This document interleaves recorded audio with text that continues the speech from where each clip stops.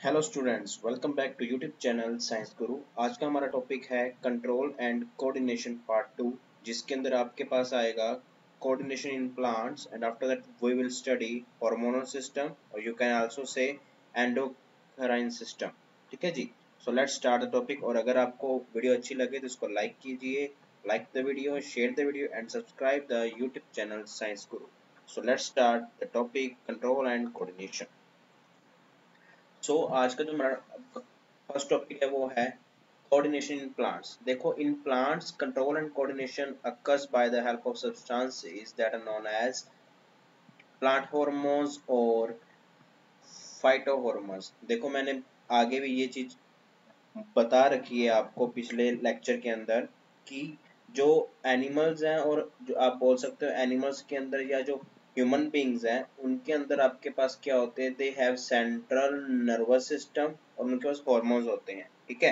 Hormone जो आएँगे वो आ जाएगा, लेकिन जो आपका सेंट्रल नर्वस सिस्टम था, वो आपका लास्ट जो लेक्चर उसके अंदर हो चुका था।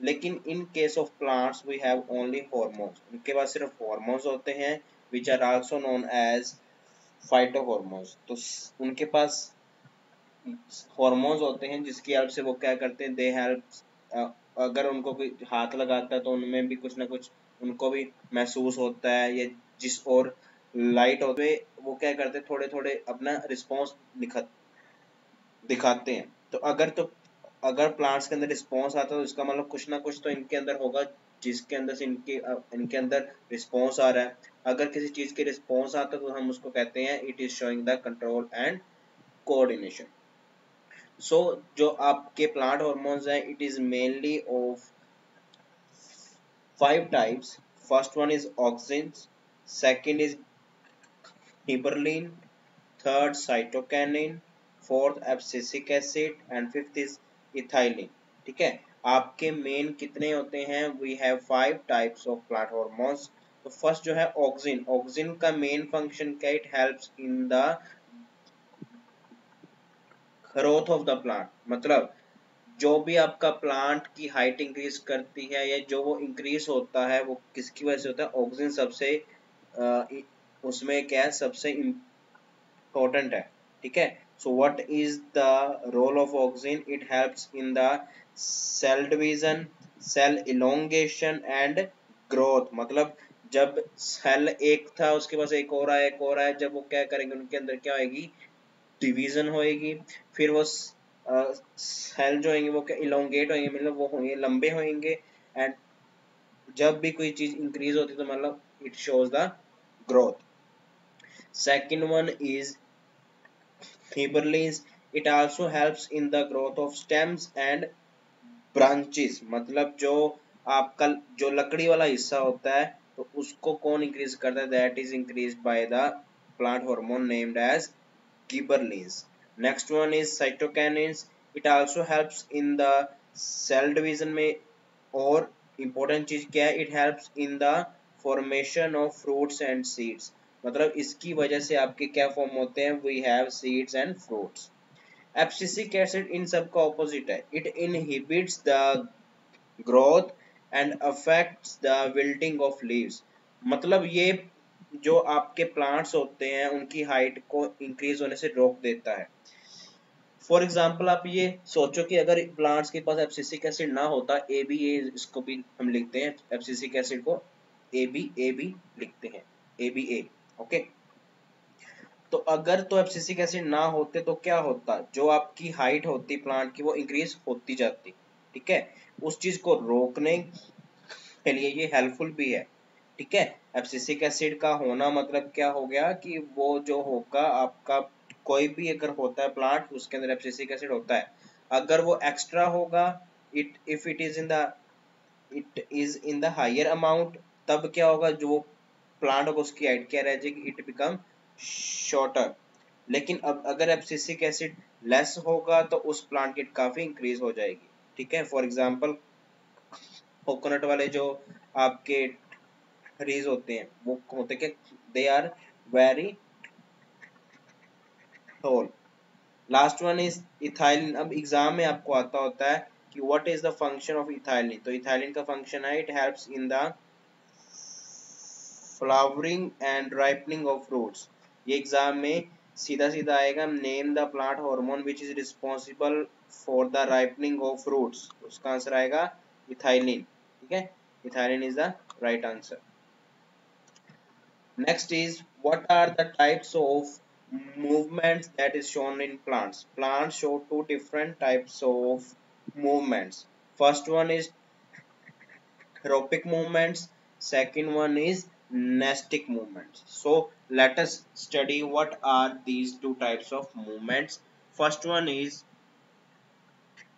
tropic movements अगर तो प्लांट जिस ओर उसको स्टिमुलस मिला उसके विद रिस्पेक्ट टू उसी और उसका क्या शो करता है अपना रिस्पॉन्स इसका क्या मतलब हुआ? These movements are directional movements towards और away from the stimulus and it's depends upon the growth मतलब कि जो भी प्लांट को स्टिमुलस मिलेगा, ठीक है? उसका जो रिस्पॉन्स होगा वो उसके अकॉर्डिंग होगा। वो ये भी हो सकता है कि जिस ओर से मिला उसी की ओर ही हो जाए या उसके ऑपोजिट भी हो सकता है। लेकिन स्टिमुलस का रिस्पॉन्स निकलेगा और इसका इफ़ेक्ट किसके ऊपर आएगा? उसकी ग्रोथ के ऊपर आएगा। तो ऐसे टाइप ऐसे टाइप की जो मूवमेंट्स होती हैं प्लांट्स की that are known as tropic movements अब this is of different types ये डिफरेंट होती है types first one is photo second geo third chemotropism fourth one is hydro so मैंने आगे भी आपको बता रखा है कि what does this word means photo का मतलब क्या होता है? It represent the word light it represent the word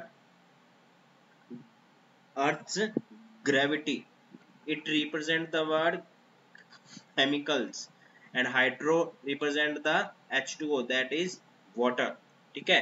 so first हमारे पास आ रहा है that is phototropism is the movement of plants in response to light अगर तो रिस्पॉन्स जिस ओर से उसको लाइट मिल रही है, उसकी ओर ही हो तो उसको हम बोलते हैं it shows positive phototropism for example जो आपका प्लांट होता है, जिस ओर से इसको सनलाइट मिलती तो ये उसी ओर अपना, ये उस ओर झुकना स्टार्ट हो जाता है। तो this is the example of positive phototropism और अगर ये उसके ऑपोजिट की ओर होगा, तब ये it is known as negative phototropism for example जो आपकी रूट्स होती हैं it always be away from the light जो आपका शूट पार्ट है मतलब जो ऊपर वाला पार्ट होता है of the plant is known as shoot part वो क्या होता है? It shows positive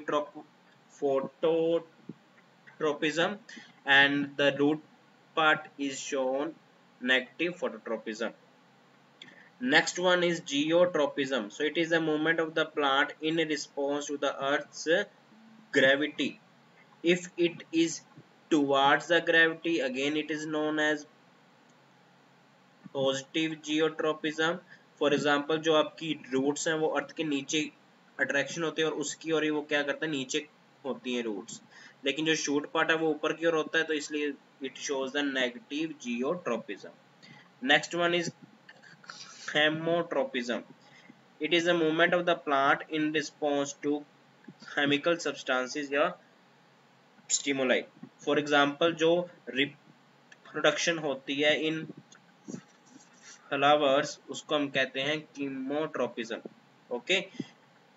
So it is the you can say इसकी एग्जांपल क्या है growth of pollen tube towards the ovule after the process of fertilisation ठीक है? इस प्रोसेस को क्या बोलते हो? फर्टिलाइजेशन भी। लास्ट वन इज़ हाइड्रोट्रोपिज्म मतलब अगर H2O के विद रिस्पेक्ट टू वो क्या करता है? इट शोज़ द रिस्पॉन्स और इट्स अब देखो रिस्पॉन्स जो शो होता है, वो होता है in the terms of movements ठीक है? चाहे वो हाइट की हो जाए या जो जब इसको होती हवा लगती है तो ये हिलता है हल्का सा ये जो मैंने फ़र्स्ट एग्जांपल दी कि जिस और सनलाइट होती है तो शूट पार्ट उस और झुक जाता है। तो all these are are the examples of the movements in plants अब इसके अंदर भी ऐसा होता है हाइड्रोम में भी एक शो करता है पॉजिटिव एंड एक शो करता है नेगेटिव रूट्स जो होती हैं, जहाँ पे एच टू होगा वो उस और अट्रैक्ट होती जाती, लंबी सी होती जाती हैं, इसलिए जो रूट्स होती हैं, वो जो आपकी ये सॉइल के अंदर इधर उधर होती रहती हैं बिकॉज़ जिस भी स्पेस उसको एच टू मिलेगा, वो उस और इंक्रीज होती रहेगी। ठीक है जी? So all these are the types of tropic movements let us see the examples ये आप यहाँ पे भी ऑब्ज़र्व हो रहा है आपको कि देखो एक्चुअली में इसने ऐसे आना था ऊपर को, लेकिन इस और उसको मिल रही थी, जहाँ से उसको हर रोज मिलती थी सनलाइट तो वो अपना होल अपना उसकी जो पोजीशन थी, वो अब ऐसे हो गई है। इट शोज़ द फोटोट्रोपिज्म अब जो आपकी रूट्स हैं, ये अर्थ की ओर अट्रैक्ट होती है तो it shows the geotropism last one is this I am explaining that the fertilisation in the flowers तो ये जो टॉपिक है, ये अभी आपके आगे आएगा। ये देखो एक्चुअली में क्या होता है आपके पास?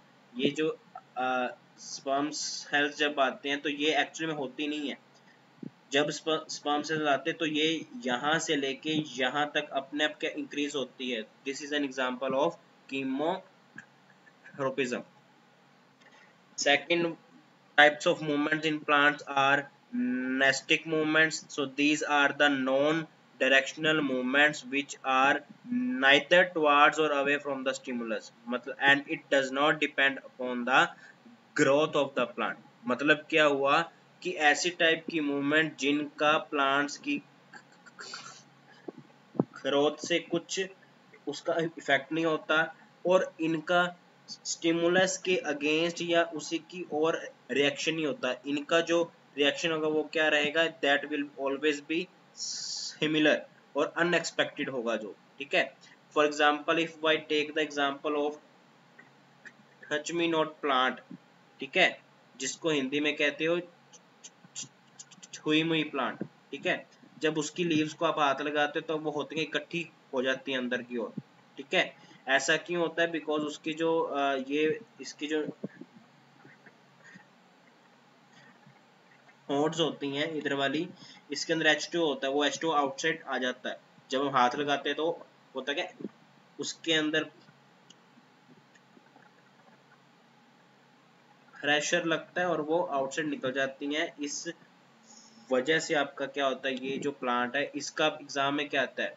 What is the chemical name of touch me not plant तो इसका होता है मीमोसा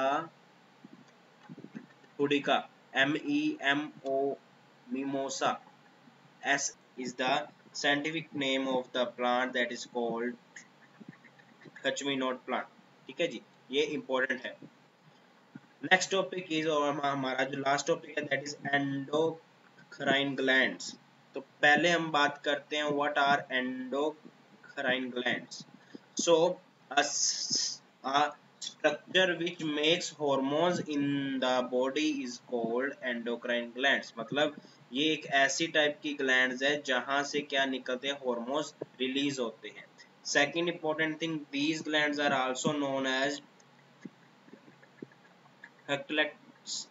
glands मतलब ये जो, देखो, अगर किसी भी ऐसे कोई होगी फॉर एग्जांपल जो आर्टरीज हैं you have arteries veins and etcetera जो भी एक इस शेप की होंगी glands that are known as they are called full gland लेकिन इसके अंदर ऐसा कुछ नहीं होता। It simply releases the hormone into the human blood ठीक है? Because they do not have to create जिसके अंदर से निकलेंगे, ये सिर्फ़ हॉर्मोन्स निकलता है और वो हार्मोन हमारा जो ह्यूमन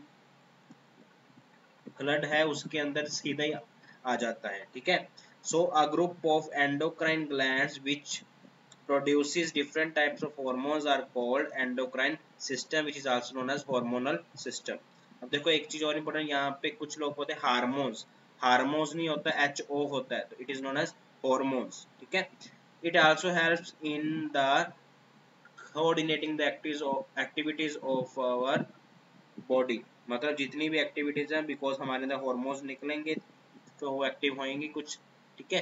तो वो उनकी हेल्प से होता है। तो what are hormones now? So hormones are the chemical messengers which are secreted by the endocrine gland into the blood.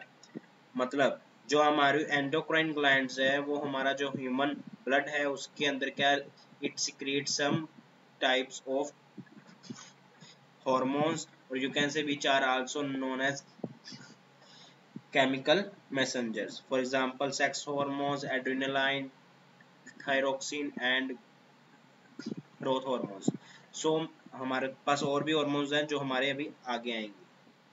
तो ये है हमारे अंदर एंडो सिस्टम और you can say hormonal system तो देखो फ़र्स्ट आपके पास आती first one is pineal gland pituitary gland, thyroid gland, parathyroid gland, next thymus pancreas adrenal gland अब जो मेल्स होते हैं, उनमें क्या होता है? दे हैव हेस्टिकल्स एंड जो मेल फीमेल्स uh, होते हैं, उनमें होता है क्या? ओवरी होती है। तो these are the two different types of endocrine glands in human beings तो अभी जो मैंने बताई, इनमें से इम्पोर्टेंट जो आपको एग्ज़ाम में आनी वो ये वाली है।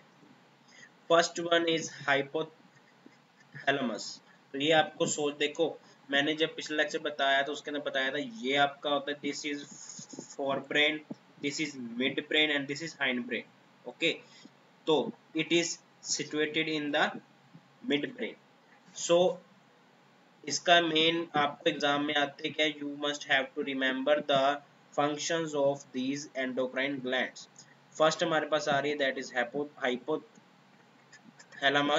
so it is responsible for certain metabolical processes and other activities of the autonomic nervous system मतलब जितने भी ऑटोनॉमिक में जो अपने आप अपने आप जो आपके अंदर प्रोसेसेस हो रहे हैं they are maintain by the hypothalamus gland it synthesis and secretes certain neurohormones often called releasing hormones या उसका another name है that is also known as hypothalamic hormones and these in turns stimulate or inhibit the secretion of pituitary hormones देखो इस line का मतलब क्या है इस लाइन का सीधा सीधा सा ये मतलब है कि it activates the pituitary gland ठीक है जो पिचटूरी अब इसके आगे वाली जो आनी है, वो है पिचटूरी ग्लैंड उसको ये क्या करती है? एक्टिवेट ठीक है? It helps in the activation of the pituitary gland आप सीधा सीधा एक जो ईटी वाले बच्चे हैं, वो इसको ऐसे भी समझ सकते हैं। Also it helps to control our temperature hunger fatigue and sleep तो ये भी, जो कुछ भी हमारे साथ होता है तो ये it is also control by the hypothalamus gland next one is pituitary gland This is also known as master gland of the human body because all the major functions are controlled by this pituitary gland. सबसे important चीज चीज जो हमारे अंदर क्या होती है we have growth and development so, which is controlled by pituitary gland that's why it is known as master gland so you can see here there are so many types important you can say functions of pituitary glands first one is growth bp that is blood pressure some as aspects of pregnancy and childbirth including stimulation of uterine contractions during childbirth मतलब जब भी fertilisation होने के बाद जो unborn baby होता है जिसको हम कहते हैं कि डिलीवरी का जो ड्यूरेशन होता है उसके अंदर it helps to push the unborn baby outside into the earth मतलब stir gland next gland is that is thyroid gland ठीक है? तो ये आपका जो ये नेक रीजन होता है, जहाँ से आवाज़ निकलती है तो वो क्या होता है? That is known as Hering's और इसके जो बिल्कुल काम होता है, इसके आसपास जो होता है दैट इज़ नोन एज एक होता है ऑन द राइट साइड एक होता है ऑन द लेफ़्ट साइड ठीक है? ये वाली फिगर है दिस रिप्रेजेंट द ग्लैंड और अगर किसी के अंदर ये इंक्रीज हो जाती है तो उसकी जो ये वाला एरिया है, ये इधर वाला एरिया इतना तो वो क्या होता है? इंक्रीज हो जाता है। तो उसका क्या है? ये चीज़ आपका ऐसा लमकता है वो, ठीक है? तो ऐसा आप करके इसको समझ सकते हो। The thyroid gland is the largest endocrine gland and consists of two connected lobes, ठीक है? सबसे इंपॉर्टेंट चीज़ आपके लिए क्या है? It is the largest endocrine gland अब बाकी की ये, जो ईटी वाले बच्चे, उनके लिए ये सब कुछ इंपॉर्टेंट नहीं है, आपके लिए ये इंपॉर्टेंट है। It is found in the neck below the thyroid cartilage which forms जिसको हम कहते हैं एडम एप्पल जो हल्का सा आपका जब भी आप अगर आप अपनी फ़ूड हाइप के ऊपर हाथ लगाओ यू विल फील कि एक हल्का सा है क्या एक, हम उसको कहते हैं एडम एप्पल है वो। मतलब वो एक आउटसाइड को, कोई चीज़ उभरी हुई है। तो उसके बिल्कुल कहाँ होता है, जो उसके जो आपकी थायराइड ग्लैंड है, उसके बिल्कुल क्या होती है, नीचे होती है। अब एग्ज़ाम में जो इटी वाले बच्चे हैं, उनके लिए स्पेशली मैं बता रहा हूँ आपको इतना एग्ज़ाम में नहीं आना, आपको आना है कि इसकी लोकेशन कहाँ पे है? Name the type of hormone it release and what is its function. ये सिर्फ़ important concept है for the ITT students. और जो बाकी students है, वो इस, उनके लिए भी इतना ही आएगा एग्ज़ाम में, लेकिन आपको एक्स्ट्रा कुछ इसके बारे में नॉलेज होनी ज़रूरी है। It secrete it secretes the thyroxine hormone that is also known as T4 ठीक है? अब इसका फ़ंक्शन क्या है? बिकॉज़ यहाँ से चीन निकल, जिसको कहते हैं एंजाइम सा निकलता है you can say that is known as calcitonin, which plays a role in in calcium hemostasis. अब ये क्या है? लेट्स सी ये आ रहे हैं आपके what are the important functions so it controls how quickly हमारी जो ह्यूमन बॉडी है, कितनी वो, उसके अंदर कितनी जो, उसकी अंदर जो एनर्जी है, वो कितनी यूज़ होती है, कितने प्रोटीन्स बनते हैं और वो कितना सेंसिटिव है कि जितने भी हॉर्मोन्स निकले कि वो आपके, वो एक्सेप्ट हो रहे हैं या हो नहीं रहे। So these are hormones regulate the growth and rate of function. it also act as act as a helps in the you can say growth development and our temperature अब ये चीज इंपॉर्टेंट है last line during infancy and child childhood adequate thyroid hormone is very important for brain development मतलब जब कोई छोटा जो बच्चा होता है, उसके लिए ये चीज़ बहुत इंपॉर्टेंट है। अगर इसमें से हार्मोन रिलीज़ हुआ ना तो उसका जो फंक्शनिंग ऑफ़ ब्रेन है, वो रुक सकता है। नेक्स्ट जो इसके ऊपर ही होते हैं that is also known as thyroid gland देखो, यहाँ पे शो भी हो चुका है, ये एक्चुअली में थी, लेकिन उसके ऊपर छोटी सी होती है that is known as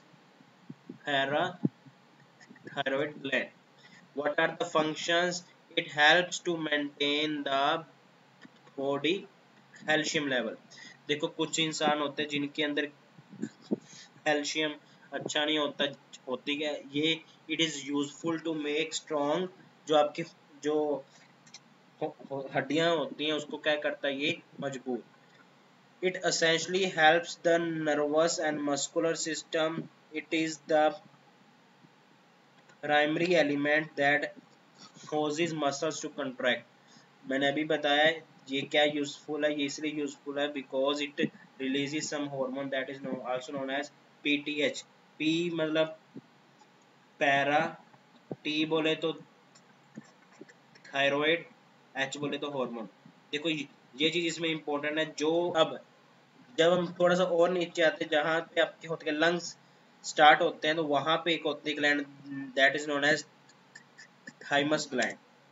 तो it is a specialized organ of the immune system इससे में इम्यूनिटी मिलती है, ठीक है? It is located in front of the heart heart के आगे होते हैं ये। और बाकी सब कुछ अनइम्पोर्टेंट है। आपकी ये चीज़ इंपॉर्टेंट है। It secretes the hormone that is known as thymosin और it is the largest and most active during the मतलब जब जो आप छोटे छोटे बच्चे होते हैं जो अभी होते होते मीन्स जो एक दो क्या होता है it is very large in them ये काफ़ी इंक्रीज होता है इसका साइज़ बहुत इंक्रीज हो, होता होता है बिकॉज़ इससे आप आपको इम्यूनिटी मिलती है. लेकिन विद एज ये क्या होता जाता है इसका साइज़ क्या हो जाता है इट गेट शॉर्टन तो सबसे इंपॉर्टेंट काम क्या है it helps to maintain the immune system next one is these are known as emotional glands मतलब that are known as adrenal glands that are located on the kidneys के ऊपर होती है ये एक ऑन द राइट साइड एक on on the left side so there are two glands that sit on the top of your pair of uh, kidneys that are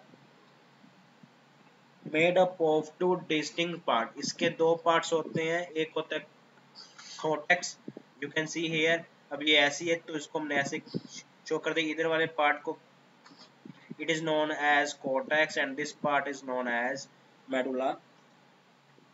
So they are also known as suprarenal glands मतलब जो emotional, जितने भी हमारे emotions वगैरह हैं that are controlled by this adrenal gland हंसना, रोना, या कुछ भी आपकी जो इमोशंस है which are controlled by adrenal gland so अब इससे जो हार्मोन निकलता है, वो कौन सा हार्मोन जो निकल, उसका नाम क्या है? That is known as adrenaline पीछे एल आई एन ई लग जाएगा बस.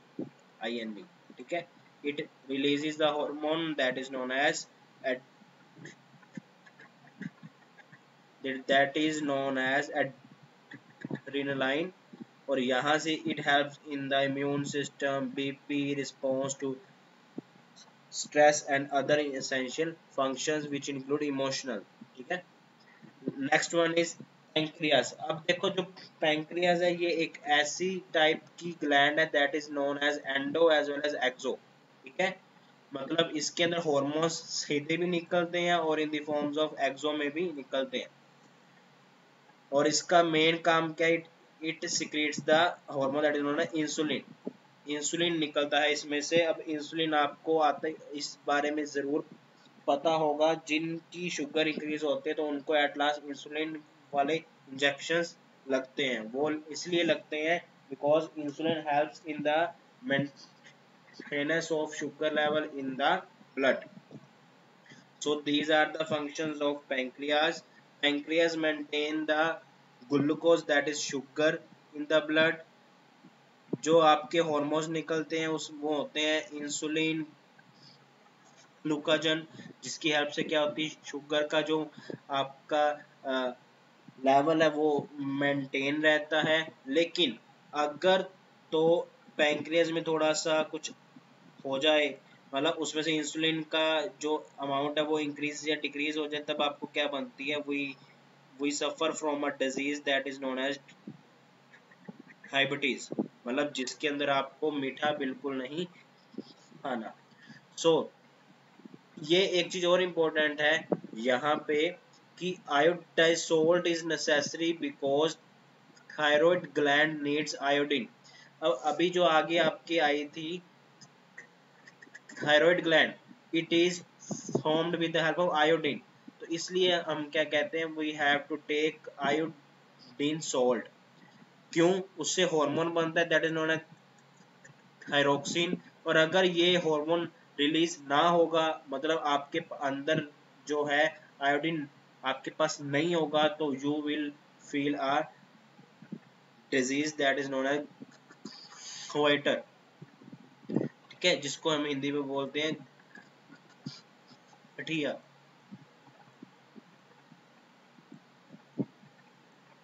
नेक्स्ट अभी जो इसके इसकी एक्सप्रेशन हो रही थी it is occurs due to the deficiency of insulin hormone that is secreted by pancreas which is responsible to control the sugar levels मतलब इंसुलिन अगर लेस होगा तो शुगर इंक्रीज हो जाएगी ठीक है ये ऑपोजिट है जितना इंसुलिन हाइयर उतनी शुगर लेस इसलिए जब शुगर हाई होती है, तब हमें इंसुलिन के इंजेक्शन लगते हैं ताकि शुगर इंसुलिन इंक्रीज हो जाएगा तो शुगर क्या हो जाएगी? डिक्रीज हो जाएगी. ठीक है? तो यहाँ पे लिखा हुआ है, इसके इंजेक्शन भी लगते हैं, लेकिन स्टार्टिंग इसकी होती है by taking some suitable medicine लेकिन अगर उससे ना असर हुआ तो फिर लास्ट पे injection is the last option अब जो मेल्स होते हैं, उनके अंदर एक अलग से एंडोक्राइन ग्लैंड होती है that is known as testis देखो स्क्रोटम होता है, ठीक है? उसके अंदर जो छोटी छोटी टू होल्स होती हैं, उसको हम कहते हैं testis so these are a pair of sperm producing organ that maintain the health of a male reproductive system. तो ये ओवल शेप के अंदर होते हैं और they are locked within the scrotum that is a pouch of skin that is hanging outside the body behind the penis. ठीक है? तो ये आपको इसका आइडिया हो गया होगा।